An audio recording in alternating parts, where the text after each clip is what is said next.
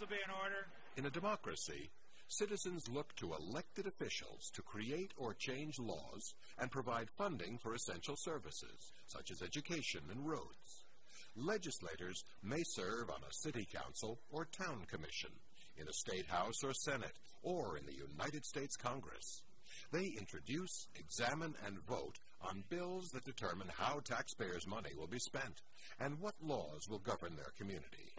H.R. 400, an act to authorize the Secretary of the Interior to establish the Ronald Reagan Boyhood National Historic Site and for other purposes.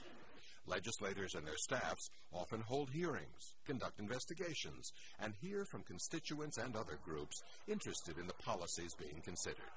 There are usually minimum age, residency, and citizenship requirements, but there is no formal experience needed to serve as a legislator.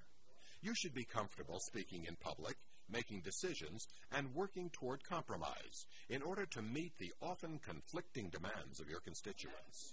A background in law or business management can be helpful. Some legislators work part time, often for little or no pay, while others may work 60 or more hours per week. They need to run a campaign for re election regularly, as the voters determine who is hired. The first step is finding out what's needed to get yourself on the ballot for the position you seek. No matter what level of government they are in, legislators must be committed to the public good, weighing all the needs of the community to make decisions that affect all of us.